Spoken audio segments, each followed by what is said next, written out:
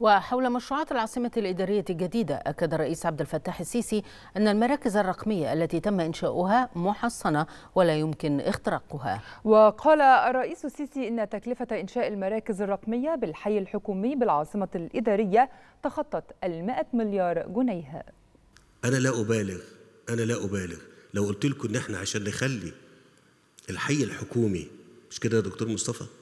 الحي الحكومي حي مميكن بشكل يوفر عمل متقدم جدا للدولة المصرية سواء بأن إحنا عملنا مراكز البيانات أو الجزء اللي اتعمل بال للخمسين ألف موظف على الأقل اللي إحنا اتكلمنا عليهم ثم الشبكة بتاعتهم المؤمنة أنا مش هكون مبالغ لو قلت إن الرقم وطبعا المراكز الأخرى اللي مش كده؟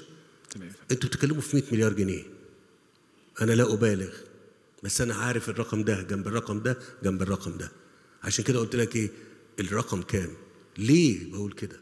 عشان نقول إن الدولة الحكو... الدولة المصرية لما تيجي تعمل موضوع زي ده عشان تحول الدولة وأدائها من من دولة كانت بتشتغل ورقي إلى إن هي تتكلم آه رقمي. رقمي.